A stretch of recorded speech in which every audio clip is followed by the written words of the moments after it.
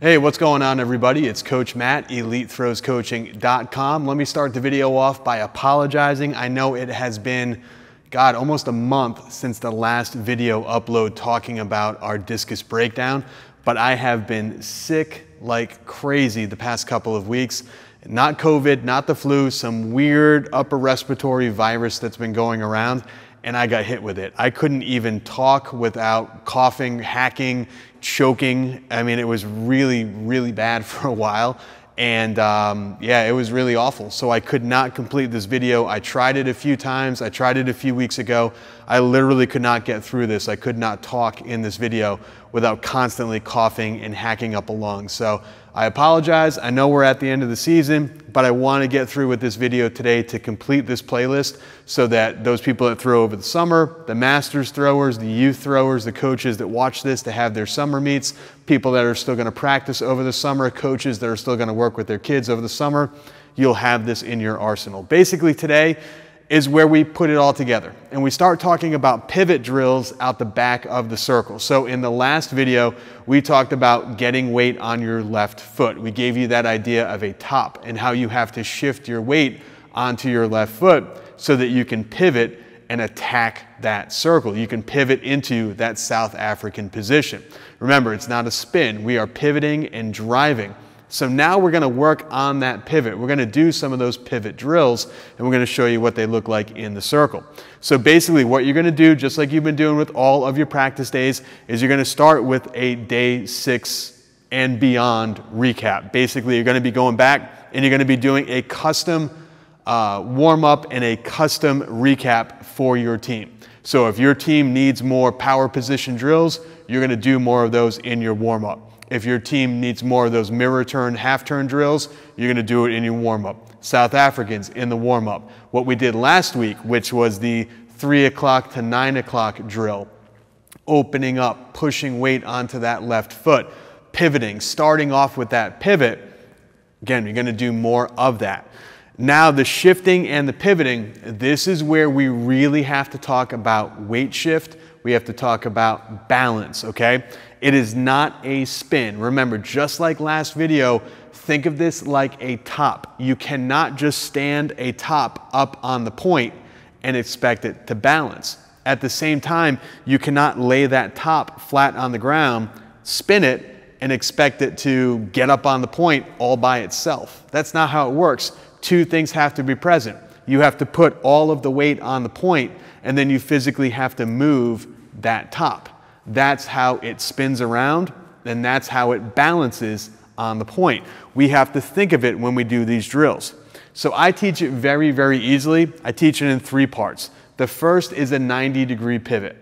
From there, we go to a 180 degree pivot, and then from there, a 360 degree pivot. Once your athletes master that, you can add a med ball, and we're gonna show you how to do that in the circle. After that, we are going to pivot into that South African. And basically, we're going to use a couple of tools. Again, you don't have to have exactly what's here. I've had athletes use so many different things at practice, but I like to use a five gallon bucket here in the gym. We have plenty of them to use, so it works great when we're doing our drills.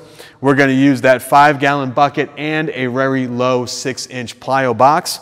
And then basically, we're going to just take that bucket away and just use the box. And then from there, everybody, we're just going to put it all together. And we're going to show you all of those puzzle pieces. So essentially, we have built sort of an arsenal for you. We have given you all of the ammunition. We've given you all of the rounds, everything that you need.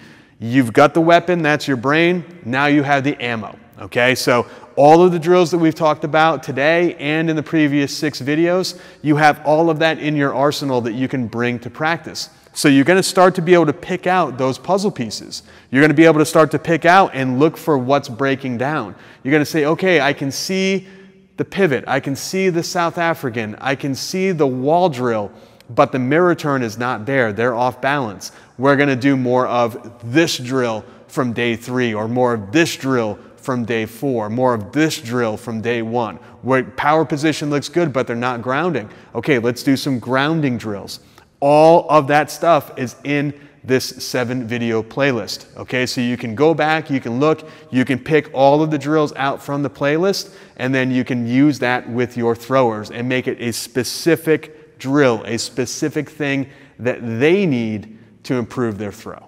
All right, so let's talk about pivoting. Okay, so the way that I break down the pivot, the way that I explain this to my throwers is very simple. When you get in a circle, a circle is 360 degrees, okay? So we got a 360 degree circle. Half of that circle is a 180, okay? One quarter of that circle is 90 degrees. So what I like to do with my athletes is not necessarily get them in the circle, but I show them in the circle sort of how this all adds up, how this all works. So the first thing I'm gonna do is I'm gonna put my left foot, because that's the foot I'm going to pivot on. That's the foot I'm going to turn with. I'm gonna put that foot in the middle of the circle, and I'm gonna have my right foot over here towards three o'clock. And we're gonna start by showing them a 90 degree pivot. Here's how I do it. The first thing I want to do is make that letter T position with my hands. And just like last week, we're going to start moving that 3 o'clock to 9 o'clock. And as we move, we're going to shift and lift. So here, they should have already done a bunch of these. 3 o'clock to 9 o'clock, reach, shift, and lift. As soon as they're getting onto that left foot, their right foot is coming off the ground. They might lose their balance a little bit. They're just starting out. That's fine.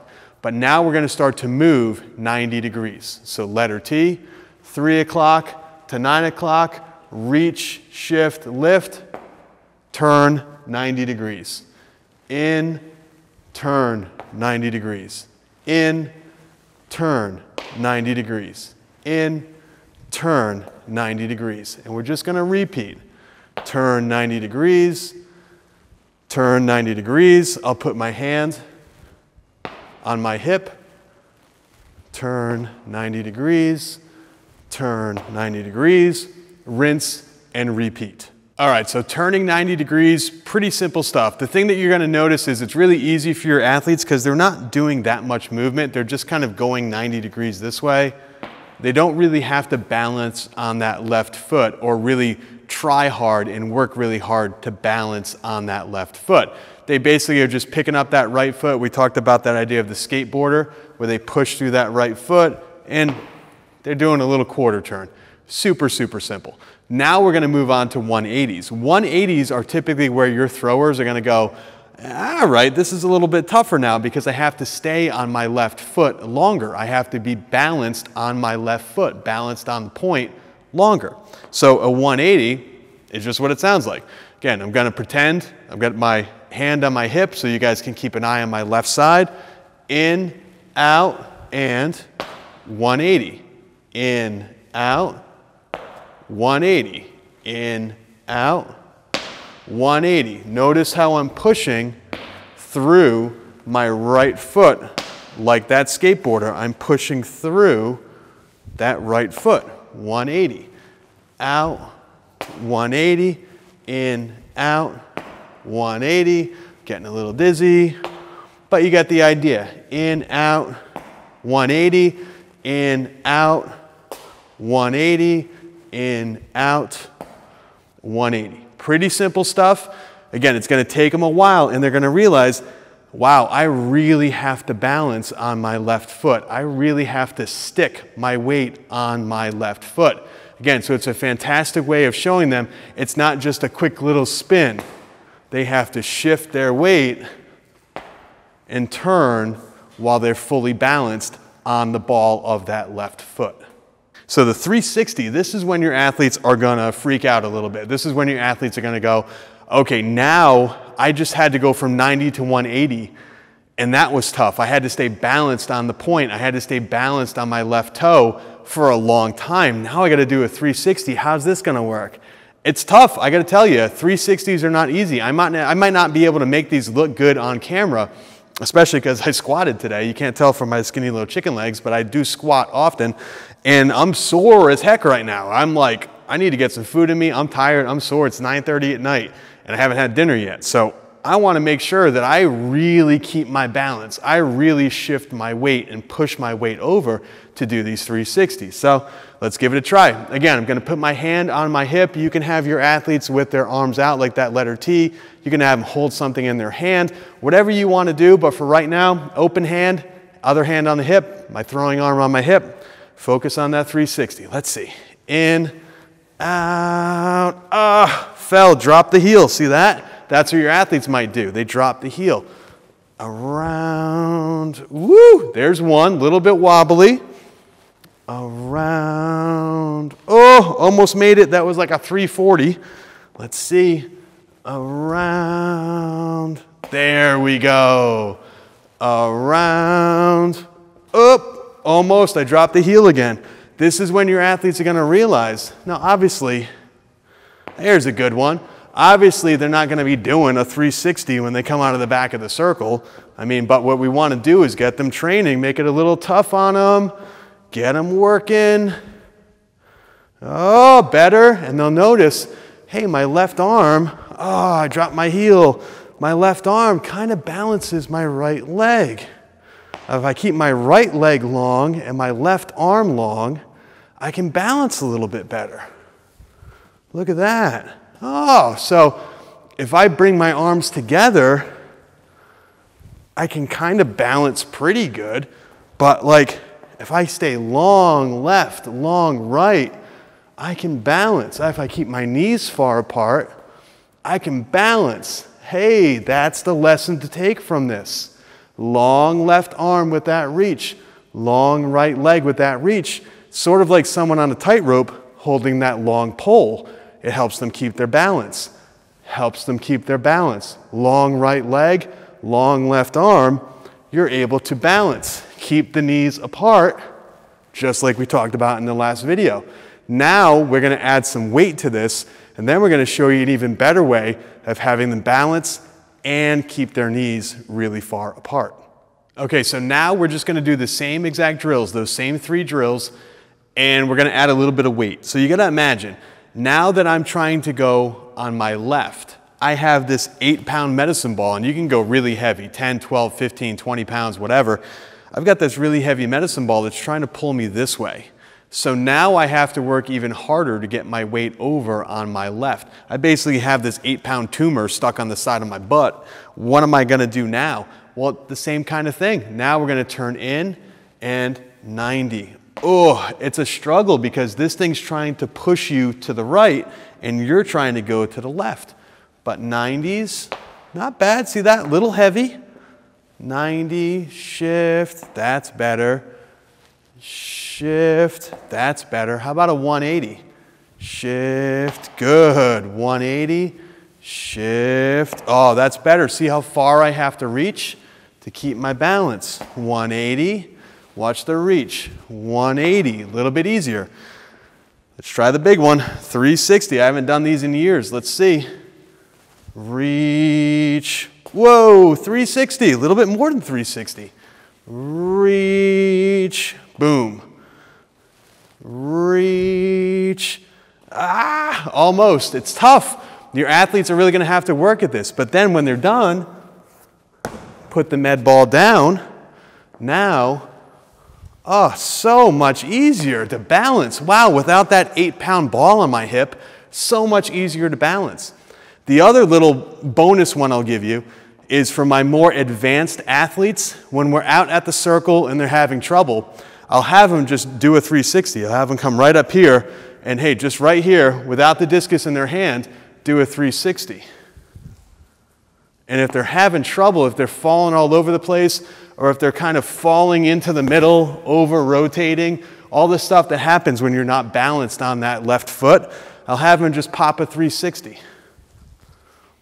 And I go, feel how you had to shift your weight, feel how you had to push over.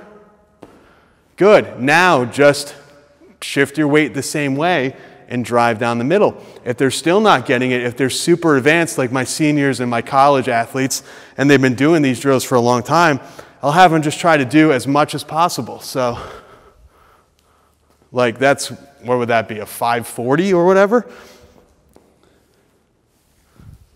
Ooh, almost all the way around. I'll have them stay on that left foot as long as possible.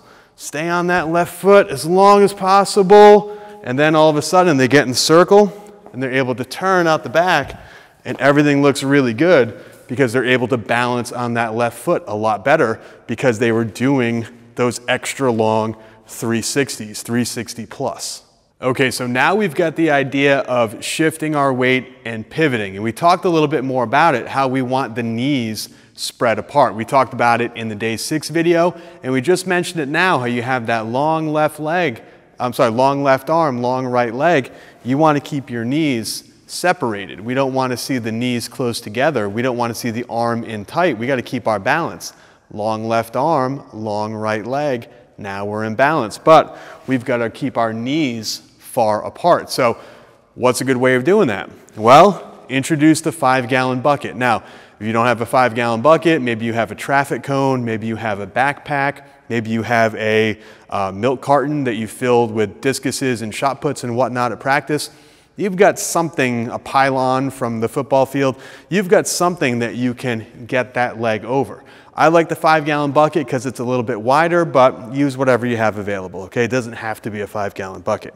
What we're gonna do, we're gonna start off with that five gallon bucket. As a right-handed thrower, it's gonna be just in front of my left foot, probably about 12 to 15 inches in front of my left foot, and it's gonna be just off center. It's gonna be a little left. Okay, so it's not perfectly lined up with my foot and it's not touching my foot. I've got enough room for my big feet to get around so that I don't hit it with my heel, essentially. So here's what we're going to do. We're going to pivot out of the back of that circle and we're going to pivot around the bucket. We don't want to kick the bucket. Get it? Don't kick the bucket. So we're here, we're going to reach over on that left like we've been doing, nice wide right leg, and we're going to stop in that South African position okay? And then just have them step back over and go again. In, out, boom. South African. Left foot pointing down towards six o'clock. Right foot made a nice wide sweep. We're gonna do it again. In, out, South African, and then one more. We're gonna go in, out, South African. Now at this point, we can have your athletes do this and then complete the South African and throw, or we can move on to the next drill, which is gonna help them with their foot position as they get ready to drive into that circle. Okay, so real quick, let's talk about the path of the thrower's right foot as they pivot out of the back of the circle. The one thing that we don't want to do is all of the up, down, up, downs that we see from a lot of throwers. So if I were just to move this bucket so you can see real quick, we don't want to do a lot of up, down, up, downs. What do we mean by up, down, up, down?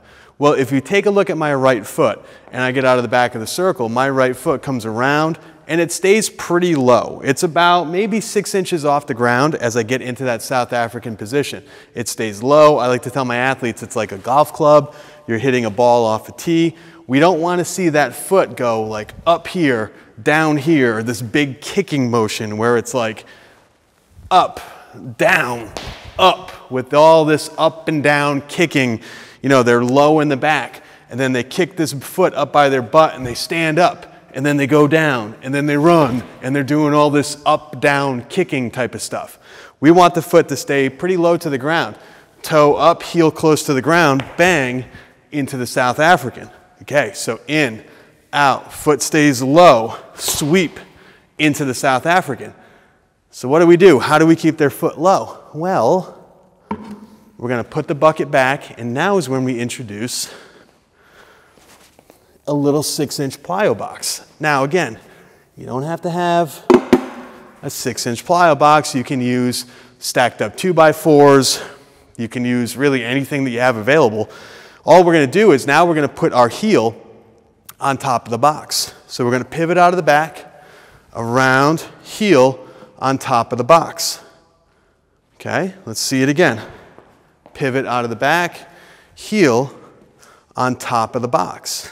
See that? It prepares us for that big sweep into the middle. Here, heel on top of the box.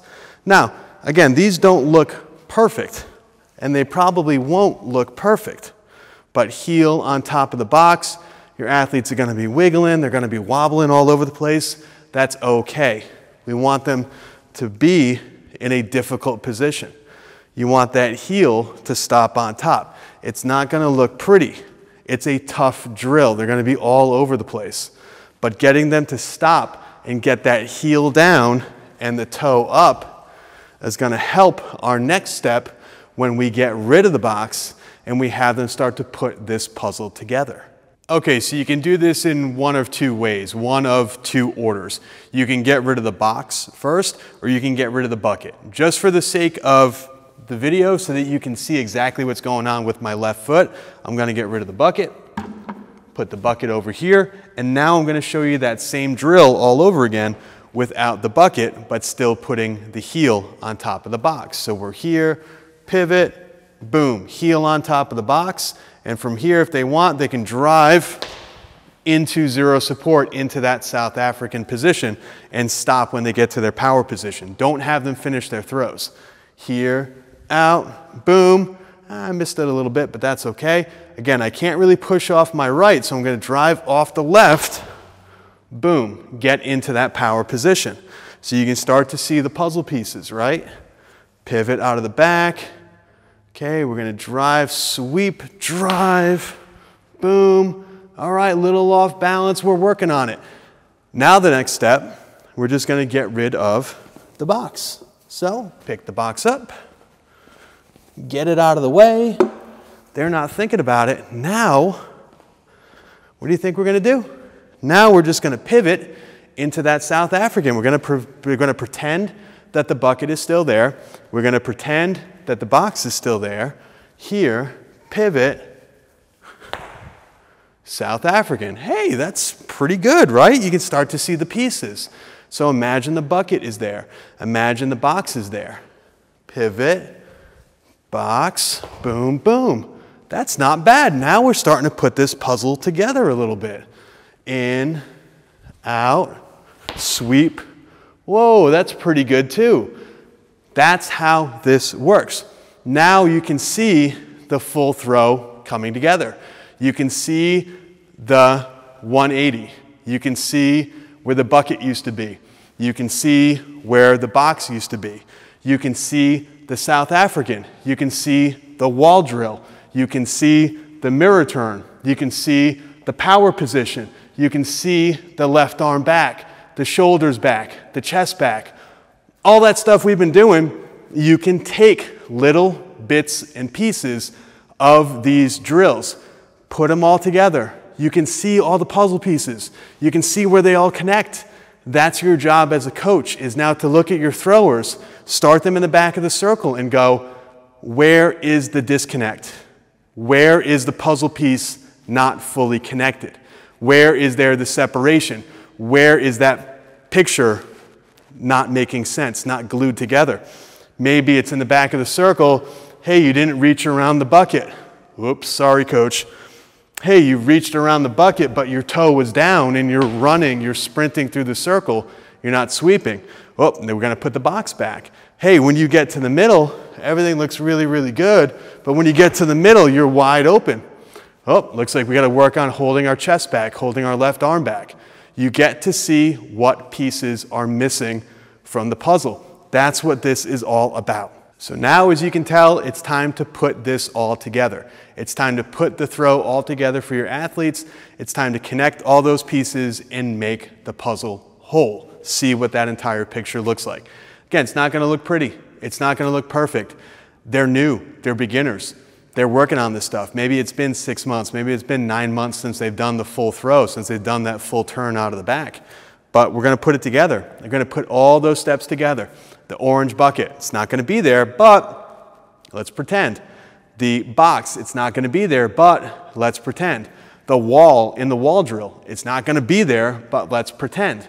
All the drills that we did, okay, you need to take a look and see what's missing, see what's not connected. So from here, it's going to be nice, slow, kind of easy throws. Here, we're going to pivot, we're going to reach, box, back. Ah, oh, few things, a few things didn't go right. A few things looked a little weird. What was it? As your coach, what did your eyes see? Did you see hey, maybe my sweep wasn't good enough. Maybe I didn't hit the wall drill. Maybe I didn't hold my left arm back. Maybe I didn't ground correctly. Maybe I didn't turn my knee down the middle. Maybe I didn't finish. All that stuff that we talked about, this is your job. Take a look at the puzzle. What piece is missing? What piece is not connected? What can you pull out and have your athletes work on? That one part of the throw, that one ingredient. What is it that you're going to have them work on? What drill are you going to give them? It all depends on what you see in their throw. So that's where I'm going to leave you today, guys. I'm going to make sure, go through all these previous videos. Take out all the drills, take out all the positions, put them in your mind, write them down on paper. Take it out to practice with your throwers. Find out what puzzle pieces are missing. Find out what is not in their throw, what might look bad, might, might look out of balance. Body position, body awareness, where are they? Are they over rotating? Now you have the ammunition, you have all the drills, you have all the positions to go to your practice and have your athletes complete this full throw in the discus. Alrighty, that is gonna do it from here, guys. I am a super hot, super sweaty mess. The last video series, I had sweatshirts on. Now it's like 80 degrees in the gym and I have a t-shirt on. So again, my apologies for getting this final video to you so late, but if you haven't done so already, there are gonna be more videos like this coming out all throughout the summer. Make sure to click that subscribe button down below and make sure to also click that notification bell while you're down there, give the video a like and leave me a comment. Let me know what you want me to cover in my next video series. Let me know exactly what you are looking for, what problems your athletes are having, or what problems you're having in the circle, and I'll be able to get back to you with an answer very, very quickly. Again, everybody, thank you so much for your patience. Thank you so much for tuning in to this video series. If there's any other questions, please leave them right down below. And make sure, guys, it really helps out a lot. Check out the links that are popping up right now on the screen screen. You can buy your equipment right from our website. You can get on, uh, online coaching, one-on-one -on -one coaching through our app as well. It's a really awesome way of staying in touch and getting the help that you need. Thanks again for watching the video, everybody, and I will see you in the next one.